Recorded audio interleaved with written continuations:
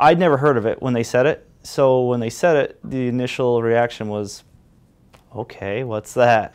And as they described it, you know, each piece that they said, it got worse and worse. And then by the end of the conversation, it finally, you know, hits you that he's going to die.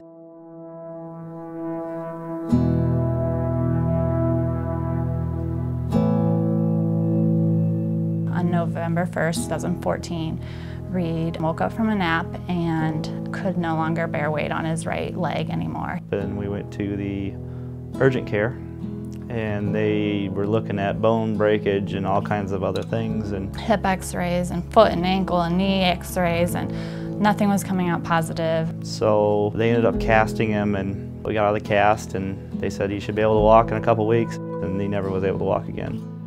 We were referred down to here for neurology. He was admitted to have an MRI and was later diagnosed with uh, leukodystrophy. And then vanishing white matter was the type that he has, which is a rare terminal genetic brain disease. Me and Erica carried a specific gene, passed it on to him, and he got the disease. There's a 25% chance of one of our kids having one. Reed is one in 170 kids in the world that have vanishing white matter. His odds of having it are one in 40 million. He was normal developing up until that point. Hit all of his milestones when he was supposed to, sitting up, crawling, walking, just all those things that you look for. And so, you know, you think, yeah, everything's great. You count those 10 fingers and 10 toes when they come out and, uh, you know, think, okay, we're in the clear, we're good. So when we got that diagnosis, it's just, you know, your world rips out from under you. A new reality has just set in. Our only son, the white matter in his brain is vanishing. It's just exactly how it sounds. And it's a degenerate disease where he will lose function in his body. Um, his walking has gone. And then he's got some hand problems, hand movement, uh, shakiness, trouble with fine motor skills. He could lose the ability to see, swallow, eat independently, hearing. He will lose organ function and then coma and death within childhood. We have to live with this new reality and move forward and getting the help he needs and the therapies he needs so he can live as normal as he can for as long as he can. Care team at University of Iowa Hospitals has been great. Dr. Perlman would be the main doctor here that we deal with and he is great. He'll take time to email. He's hooked us up with overseas research. He comes up to where we are, so we don't have to always come down here. All the other specialists we've seen and students have been great too, and they like to come and learn about Reed because he's so rare.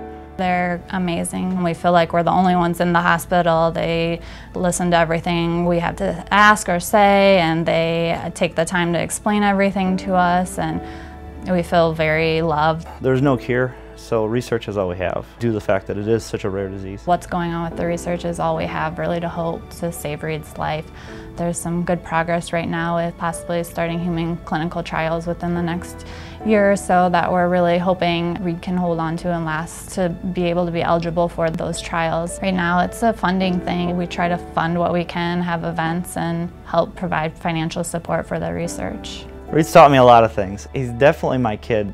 A lot of the things he does and the way his brain works, 100% just like me. Life goes by so fast, and I guess one of the big things he's taught me is to slow down, you know, and take uh, time for, for everyone around you and uh, really enjoy the moment. You know, and not think too much about what next month is going to be like or even next week, but just live in the moment and be a family and a family unit and can spend as much time together as we can because we don't know what tomorrow is going to bring with this disease. We're trying to provide a lot of experiences for Reed and traveling is one of them. He loves to be outside so anytime we can take those opportunities, go outside, go swimming and he likes to play golf and ride on the golf cart, making sure that he lives the fullest life that he can right now and making sure he's happy while doing it. Reed has taught me to love deeply and to be passionate and to appreciate him in every element that he has, whether it's a bad moment or he's frustrated, just to